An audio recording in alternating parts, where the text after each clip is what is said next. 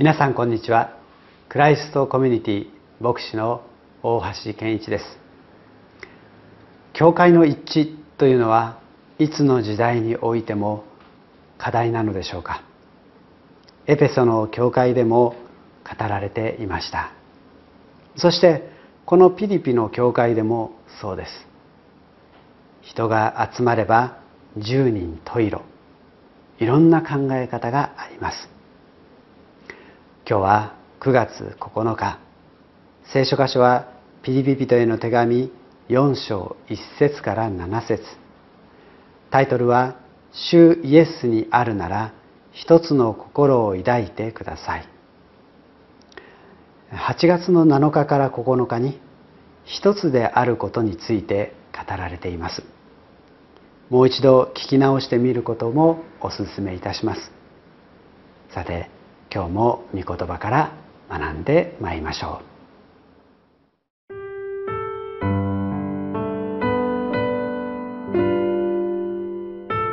ピリピ人への手紙4章。1節から7節。そういうわけですから私の愛し慕う兄弟たち私の喜び冠よどうかこのように主にあってしっかりと立ってください。私の愛する人たち、ユーオデアに進め、スントケに進めます。あなた方は主にあって一致してください。本当に真の協力者よ。あなたにも頼みます。彼女たちを助けてやってください。この人たちは命の書に名の記されているクレメンスやその他の私の同労者たちと共に福音を広めることで私に協力して戦ったのです。いつも主にあって喜びなさい。もう一度言います。喜びなさい。あなた方の寛容な心をすべての人に知らせなさい。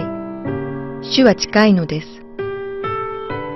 何も思い煩わないで、あらゆる場合に感謝を持って捧げる祈りと願いによって、あなた方の願い事を神に知っていただきなさい。そうすれば、人のすべての考えに勝る神の平安が、あなた方の心と思いをキリストイエスにあって守ってくれます。キリスト教会の一致というのは元を正せばキリスト者の一致がなければ成し得ないことでしょう。初めにお知らせしたようにエペソビトへの手紙を学んだ8月のリビングライフでちょうど私が取り上げた箇所でもありますのでぜひ聞き返していただきたいと思います。そこで一つになって歩むようにと勧められて一つになるために賜物が与えられていることを知りました。しかしそれだけでは一つになれません。賜物を生かして用いる時に愛がなければ結び合わされ合わせられないということを学んだのです。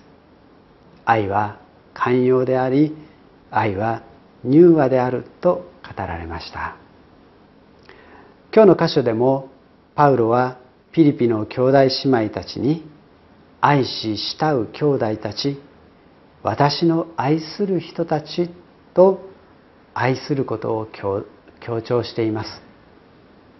愛があるからこそピリピの兄弟姉妹たちとパウロとは一致していくことができると伝えたかったのでしょう。さてそれでもピリピの教会には一つの課題がありました。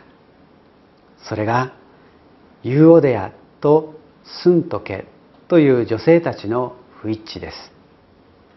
彼女たちがどのような点で一致できていなかったのかは定かではありません。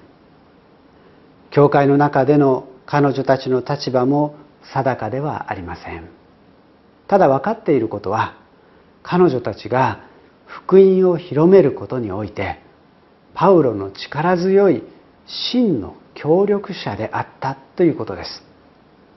福音を広めることにおいて一緒に戦ってきた同労者であったとパウロは言っています。にもかかわらず2人の間には一致がなかったのです。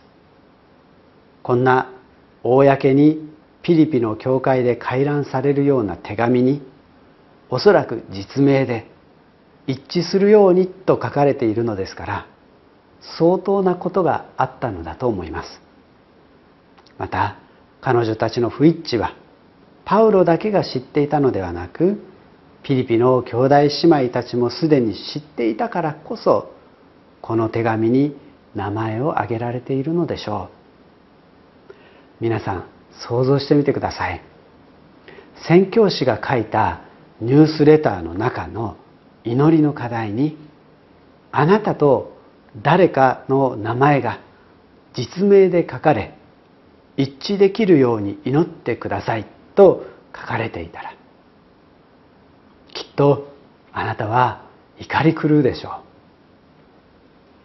と同時にこの福音の宣教においては一致できていた2人に対して一致するようにというメッセージがどれほど重要なことであったかということも表しているのでしょう。私たちも主にある兄弟姉妹と一致できないことがあるでしょうか。それは些細なことでしょうか。ある人から見れば些細なことかもしれないけれども当事者から見れば重要なことかもしれません。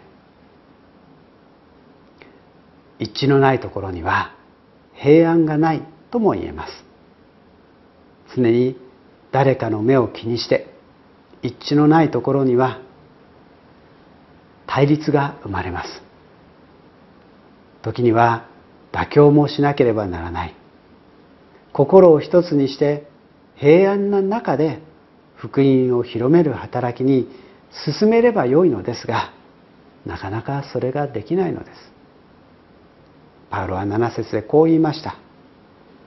そうすれば人のすべての考えに勝る神の平安があなた方の心と思いをキリストイエスにあって守ってくれます。そうすればというのはどうすればでしょうか。どうすれば神の平安があるのでしょうか。平安は思い煩いが解決したら得られると思っていませんか。平安は喜びがある状況の中で得られると思っていませんか？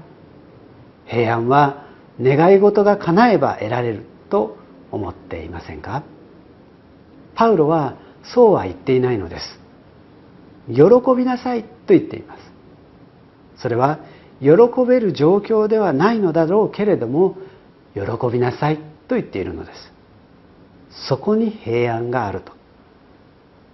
また思い煩わないでと言っているのは思い煩うことのある中で平安があると言っているのです。そして願い事が叶った時に平安があるのではなく願い事を知っていただいた時に平安があるのです。まだ願い事は叶っていなくてもです。主にあって心を一つにしてほしいことはもちろんパウロの願うところですしかしたとえそうでなくても神の平安はあなたにあるのですから福音を広める働きをやめてはいけないということなのではないでしょうか。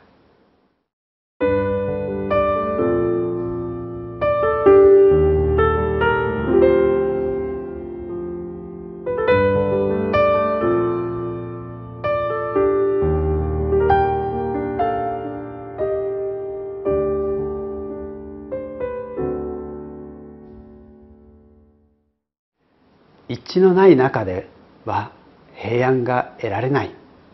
私たちはそう単純に考えてしまいます。しかし一致のないところでも喜び感謝し祈りなさいと言われました。そうすれば神の平安が福音宣教の前進のためにあなたの心と思いを守ってくださると言われたのです。正直言ってとても複雑な心境です。しかし時は止まりません。天の御国が近づいている今ただ前に向かって進むのです。たとえ一致のないところでも喜び感謝し祈りを知っていただくことによって神の平安が与えられそして福音が広められていくためにです。お祈りしましょう。人のすべての考えに勝る平安を与えてくださる主よ。本当にあなたが与えようとしている平安は今の私たちが置かれている状況では与えられないと考えてしまうものです。